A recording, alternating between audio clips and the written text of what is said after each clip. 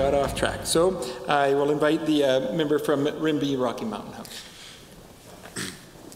Well, thank you, Mr. Speaker. Uh, it is an honor to rise today, while certainly not for the first time in this Assembly. Uh, it's most definitely the first opportunity that I've had to respond to the throne speech. Here, here. I am both humbled and privileged to represent uh, my constituents in this chamber. I'm humbled and privileged by the opportunity my constituents have given me to serve on behalf of the good people of Rimbey Rocky Mountain House Sundre. To begin, Mr. Speaker, I want to thank my family, uh, my wife Tiffany is the love of my life. As I mentioned to you when I was introducing her earlier this week in this chamber, we started dating when I was about 16 years old, and we've now been married happily for 15 years. Uh, she is my moral compass, Mr. Speaker, and I strive to be the man that she thinks I am every day. I also want to thank our son Marcus, who's 19 years old this year, and our eight year old twins Austin and Cheyenne. Mr. Speaker, the lessons I have learned in life are dwarfed by the lessons I have learned in fatherhood. I love being a dad. To me, it is my most important job, and it will always be my favorite job. I know for my family, the time I spend away from them working is hard. I thank them for their steadfast support, and I want them to know that I am working hard to leave this province a better place for them, and I want them to be proud of me. I firmly, firmly believe, Mr. Speaker, that strong family, families build strong communities, and that strong communities support strong families. These are the values that I was raised with. Almost 40 years ago, my father, Pat Nixon, arrived in Alberta a homeless teenager. At the time, my father was so deep in the prison of, prison of addiction that he would not even have dreamed about seeking the same opportunity that has drawn so many to this province. However, he did find his opportunity absolute and life changing in serving others. In launching what would become the Mustard Seed, one of Canada's most respected non for profit homeless organizations,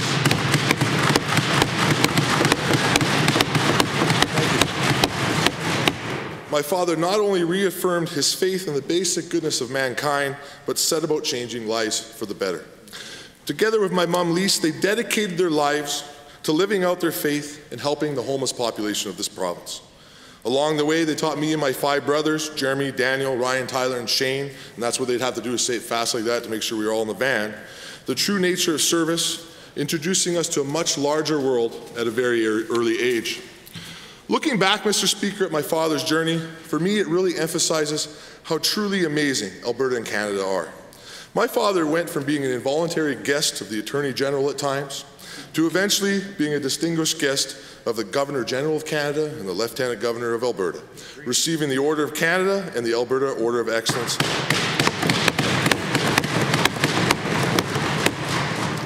He and my mother's unwavering dedication to help their neighbors has always inspired me. To help those in need in your community is something we all should strive to do each day, Mr. Speaker. My over 30 years of involvement working with the mustard seed has had a profound effect on my life. Whether serving soup as a boy in the meal line or serving as the executive director as a man, for me, growing up at the mustard seed meant learning the difference between helping others and helping others, helping others help themselves. Both are vital, Mr. Speaker. I look forward to applying this principle as a member of the 29th legislature. I also want to assure you, Mr. Speaker, that I come to this House fully aware of the primary responsibility to which I have been entrusted representing the good people of Rimbey, Rocky Mountain House Sundre to the best of my abilities. I pledge to be a strong advocate for a region which includes over 40,000 of the province's most honest and hardest working citizens spread across 25,000 square kilometers of the finest country on God's green earth. Our communities are proud communities with a long history of electing strong, uncompromising leaders. Premier John E. Brownlee represented this region, as did the first woman appointed to Alberta's cabinet, Irene Parlby. Our, over time, our region also elected longtime official opposition leader Bob Clark and my good friend Ty Lund, who served this assembly for over 20 years. And who can forget, Mr. Speaker, Democratic reformer, member of Parliament, my good friend Myron Thompson, who continues to serve the people of Sundre as a town councillor to this very day. Almost 50 years of community service.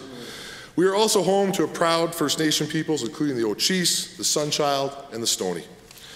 However, the fact is our communities, like many across rural Alberta, have gone ignored by successive governments that have turned their backs on conservative values that make Alberta strong. The largest urban municipality in our riding is Rocky Mountain House. It serves a regional district of more than 30,000 Albertans, with over a million Albertans visiting a year. Expanding medical service in this region is long overdue. Rocky Mountain House has been promised a hospital for many years and has been told for many years that they are on the top of the priority list. But sadly, it still has not happened, Mr. Speaker. It needs to happen. Rocky Mountain House needs a new hospital. Meanwhile, in Sundre, local citizens have experienced the devastating effects of flooding on several occasions, yet remain at the end of the line every time mitigation projects are considered. Mr. Speaker, when it comes to basic infrastructure, all municipalities in our constituency and across Alberta would greatly benefit from the certainty of long-term predictable funding. Nowhere would certainly would that be more appreciated than Rimbey, where the community continues to depend on wooden pipes. Mr. Speaker, wooden pipes. The politics needs to be removed from infrastructure funding. It needs to happen now for the long-term success of our communities. For the first time in 44 years, we have a new government here in Edmonton, and I truly had hoped this government would take a different approach. However, if the recent throne speech and the government policies are any indication, it seems I will have my work cut out for me, helping this new government understand rural issues. Communities like Rocky Mountain House, Caroline, Nordegg, and Sundre are significantly supported by Alberta's energy industry for employment and economic activities. The government's promised royalty review, which is taking place now, is already damaging confidence and killing jobs in my communities. I hear from people daily, both employees and employers, about unemployment and the effects of this government's policy on our industries. Meanwhile, Alberta's second largest industry, agriculture, remains vital for communities like Bentley, Rimbey, and Eckville. Yet this vital industry was completely ignored in this government's throne speech.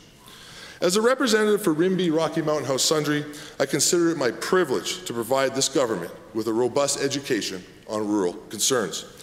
In addition, as both the official opposition whip and the critic for democracy and accountability, I am dedicated to advocating for the long overdue changes Albertans deserve. For far too long, successive governments have diminished the role of the individual member of this legislative assembly. Over the better part of a decade, the previous government tied itself in knots to avoid democratic reform, sometimes going to great lengths to prevent the systematic change necessary to ensure tr uh, true accountability. In the case of fixed election dates, the previous government implemented a faulty half measure, then broke the spirit of the law at the first possible opportunity. In the case of implementing the public right to recall failed MLAs, several previous administrations rejected the notion outright. All the while, MLA compensation increased, citizen frustration increased, and voter engagement dwindled. Rather than truly address the democratic deficit, previous administrations chose to further centralize the power in the executive under the misguided belief that somehow increased, increasing the government's capability, or that it somehow increased the government's capability to operate quality services more efficiently. History has proven this line of thinking to be patently false. Without accountability to the public, those managing our province led us to a place where our province spent 20% more than the Canadian average while providing below average service. Deficits have increased, debt is increasing, and bureaucratic red tape is increasing. Rather than a new birth of freedom, Albertans were ignored in favor of government of the cronies, by the cronies, for the cronies. I could offer, if I could offer one piece of advice to my fellow members, it is this. Alberta is a business, and all indications are that our company is in trouble.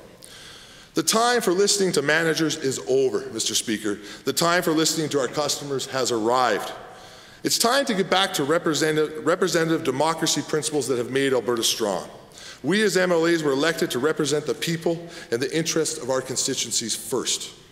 This means giving voters more opportunity to engage in our democracy and ensuring that governments are held accountable not just on election day, but every day. It is not enough to simply call for reform. We need to implement it in a practical sense. We need to show a new generation of Albertans how great debate can be used to bring people together in a common cause. We need to demonstrate for all Canadians that empowering citizens makes our democracy stronger. Like previous generations, we need to verify for the world that democracy and freedom are entwined for all time, and that freedom is not a weakness, indeed, it is our greatest strength. In this regard, I commend the government for passing legislation to ban corporate union donations. I was proud to vote for that bill. This is a first good step. But it is only one step, and we need to continue to work to preserve our democracy and improve the accountability in government. I look forward to working with all members of this House and bringing about change and standing up for all Albertans. Thank you very much, Mr. Speaker.